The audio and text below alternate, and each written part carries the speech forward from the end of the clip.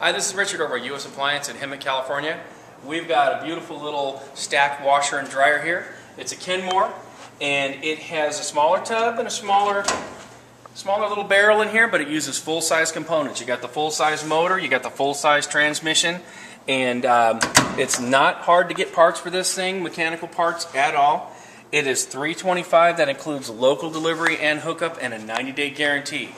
If you're looking for a way to save some space and uh, don't have a real big family, this could be the machine for you. It does run on 220 power. That's the real big plug.